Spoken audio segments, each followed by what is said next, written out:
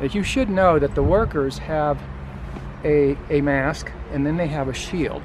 So as far as they're concerned, they're protected. If they have a mask and a shield, they're protected. If they're not protected and they're in fear of someone that has their mask down from their nose, then what is the mask and the shield doing for them? Nothing, because they're still in fear. So the mask and the shield is actually just reinforcing fear as opposed to actually keeping someone from catching anything. Because if it was keeping them from catching anything, they wouldn't be so fearful about somebody walking by with the mask down below their nose. So it isn't factual, scientific, historical, or scriptural, or anything like that, right? So it's all based on fear. So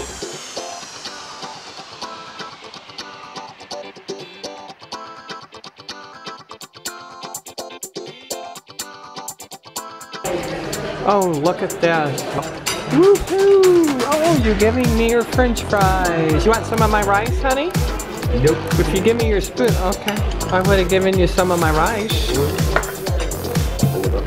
Ah, there's the ostrich.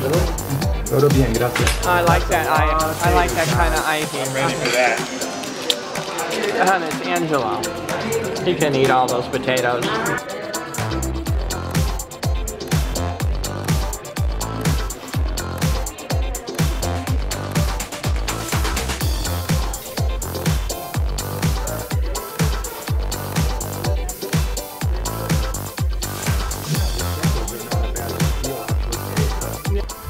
Hi, welcome to Frank and Angie's channel where we talk about the retire early lifestyle, whether it's at home or abroad.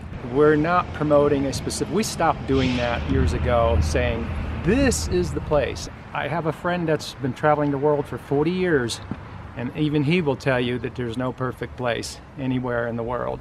So today in this video, we're going to talk about something that happened and actually it's happening quite frequently, uh, quite regularly, I should say, not necessarily frequently, but quite regularly. You know, I don't want to enter into a debate, and I think that a lot of the times uh, there's so much misunderstanding, and I know that people like concise videos and they want you to get to the point, so I'm going to try to do that. But I'm saying that in no way have we ever said we were anti-mask. I mean, I do believe people should wear a mask if that's what they want to do. So in this video, we're going to talk about something that happened in regards to that. But I don't want people to misunderstand. People should have the freedom to make their own choices. That's Exactly. our point in all of our discussion. Because I know, uh, you know, I'm, I'm on certain groups, and we even have our own group and uh, you know I make statements and people say things as if you're trying to say that you're anti-mask and you're not. So I just wanted to be clear about that before I start talking about what happened.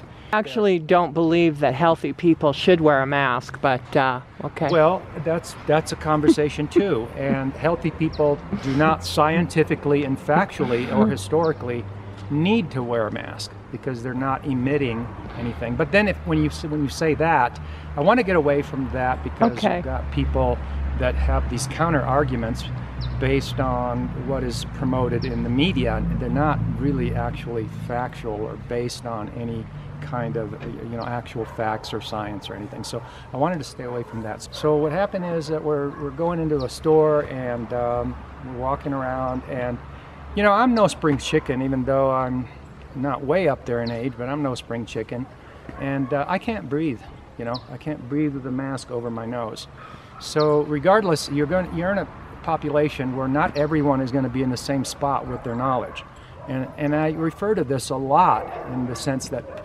about talking about people that just copy and paste. I call it copy and paste because they, they just kind of see what's in the media. She, my mom would, would call me up and she'd say, have you heard the news? Because she, she knows I don't uh, watch TV, okay? And so she'd say, you know, she'd call me up in the around dinner time in the evening and say, "Did you hear this news? Did you hear?" She thought that I was in a blackout on news just because I don't watch TV. And that's what I'm saying about a lot of people.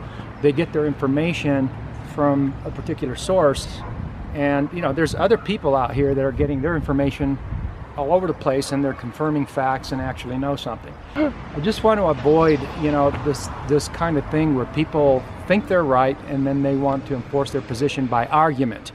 And argument doesn't make right. I mean, might doesn't make right. Uh, you know, something is either scientific, factual, historical, and scriptural, or it's not. So, uh,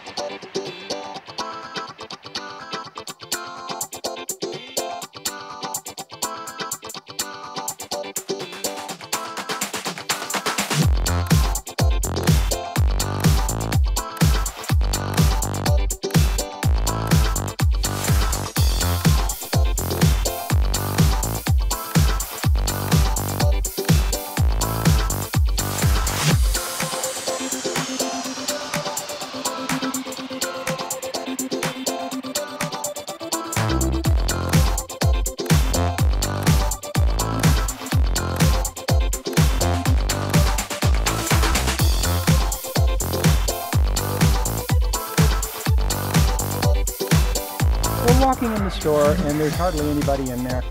And this, uh, you know, we're walking around looking at the products on the shelves and everything. So after a few minutes of that, there were a couple of workers there. We noticed that you should know that the workers have a, a mask and then they have a shield. So as far as they're concerned, they're protected. If they have a mask and a shield, they're protected. If they're not protected and they're in fear of someone that has their mask down from their nose, then what is the mask and the shield doing for them? Nothing, because they're still in fear. So the mask and the shield is actually just reinforcing fear as opposed to actually keeping someone from catching anything. Because if it was keeping them from catching anything, they wouldn't be so fearful about somebody walking by with the mask down below their nose. So it isn't factual, scientific, historical, or scriptural or anything like that. Right? So it's all based on fear. So so we're walking down the aisle and the security guard comes up and says, You you need to be wearing your mask properly. That was the word because it was down uh, and because when I talk, you know, look, I can't catch my breath. And so I was in a different store. I won't mention the stores. This is not something that just happened one time. Okay, this has been happening the whole time we've been here in Ecuador and I imagine other Latin American countries too. Uh, feel free to tell us in the comments what your experiences are. But several different stores has happened. In one of the other stores, the the people, the workers were actually following us around the store making sure and enforcing that the mask was over the nose. So here's the thing about that. So I had a discussion with those people. Now these are two different things. I don't want you to confuse.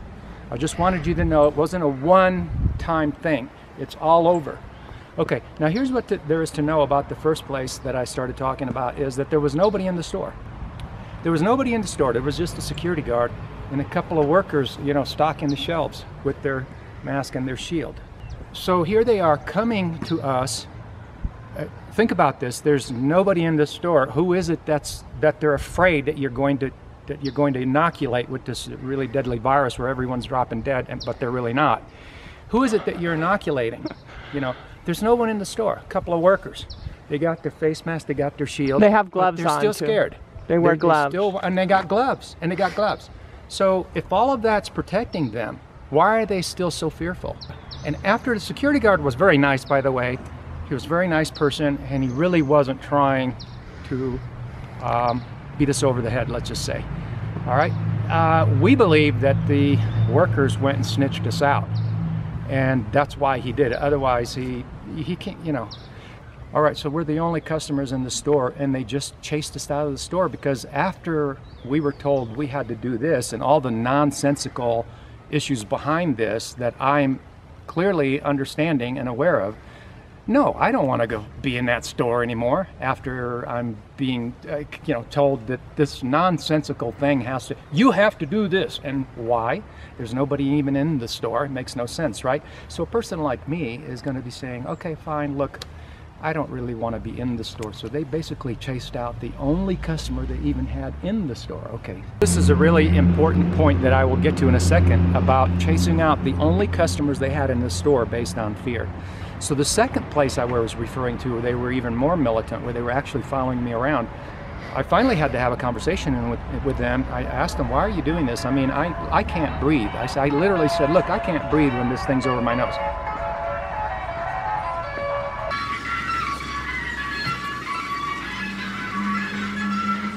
It's a gas guy. So I have friends that go shopping as little as possible because they don't want this to deal deal with this. Okay, so this these these policies are simply shooting commerce.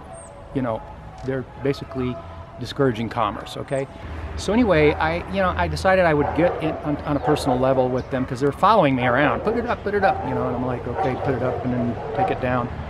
So I finally had a conversation. I said, look, I can't breathe with this thing on. And you know what they said? They they actually I, I, actually respect them for being real with me. Ecuadorians are very cool They're, people. Ecuadorians are really nice people. They okay? are.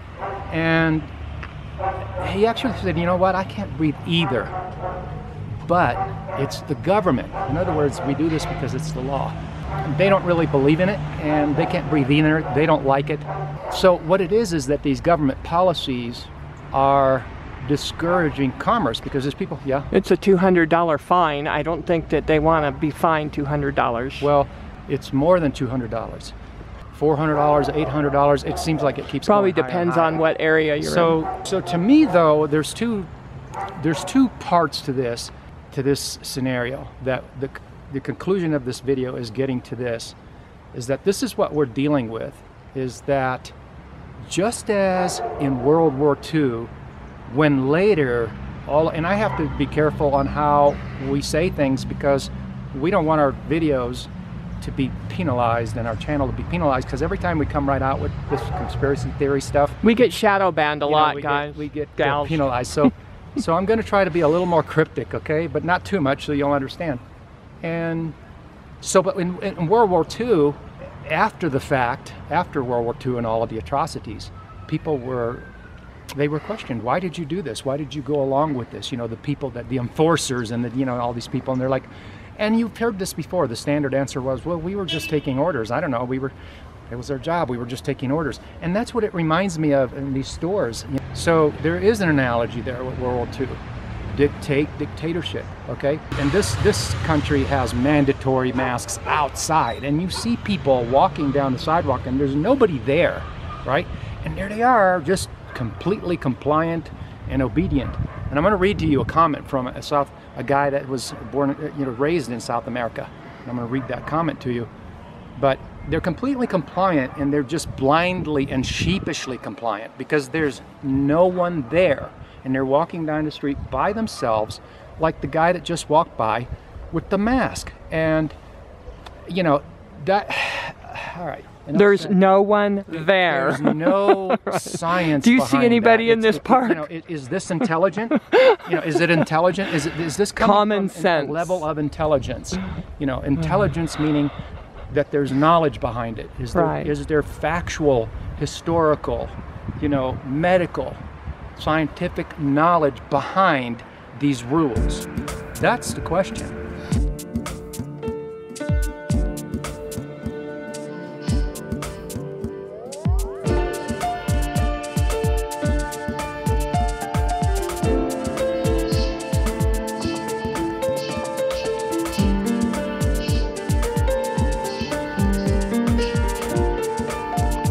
And so, what about all of this, uh, this commercial, the commercial players, all of the stores that are just following orders? What about them? You know, where is does is does anybody does anybody have the will and the spirit to say no? We're not going to go along with this. Well, you There's did. nothing behind this. All it is is force. All it is is force. And it's not based on anything. Okay? And here we are, people like us, saying, wow, you know, we're in the middle of this, and the Ecuadorians, do they even know?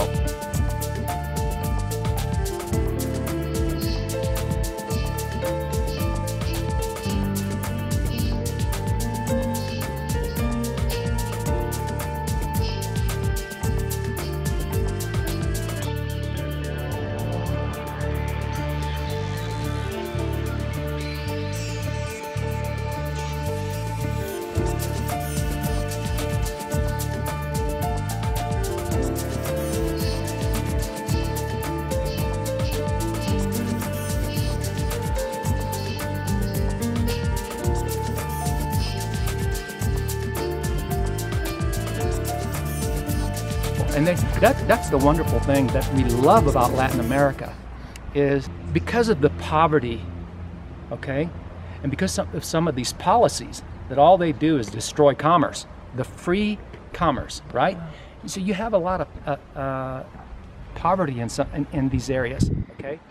But the other side of the coin of that poverty that a lot of people don't think about is that it causes people to group together as family and that's you know there's a love there the love there is and the poverty that goes hand in hand and the family values that develop because people aren't distracted by money and wealth they're distracted and you know they slowly remove themselves from that You know, it, it never was called nuclear family before. It was just family, right? When did that happen? After, anyway, different conversation, different video. The point is that in Latin America, families work together and they love each other and the relationship is there. It's based on love. And I know that people aren't perfect, but there's more of that. And I've said in other videos how there's more family uh, values abroad and that and you will see a lot of poverty there too and you see a lot of that in like in southern Italy and you see that in the south of the USA where there's these are areas that have a little bit more poverty than maybe the north and you can if you do a study on this and you really go look at this with uh, with a just an unbiased view you'll see that that's true the, the less money people make the more family oriented they tend to be and they rely on each other and they help each other and it's based on love. So why did I start talking about that? Because there's a lot of, when you have more families, there's more children. And when there's more children, there's more love. And then when there's more children, there's a lot of young people. And there's a lot of young people, and I know I went around the about way, a long way, but I wanted to say that there's a lot of young people in Ecuador, and do they even know? Do the Ecuadorians or any Latins, Central America, Panamanians, whatever, Dominican Republic, do they even know that scientifically, factually, and medically, that people under 50 years of age have almost a zero chance of dying from COVID. But I have some thoughts on that too, because you know we've spent eight, eight straight years in Ecuador without leaving Ecuador for long periods. I mean, we've taken trips to Panama for a couple of weeks, but we were here in Ecuador for eight straight years. We know, and we're on the ground. We don't isolate ourselves in our condo. I mean, I'm saying not that judgmentally, I'm just explaining that we're out here on foot. We're in the middle of the culture.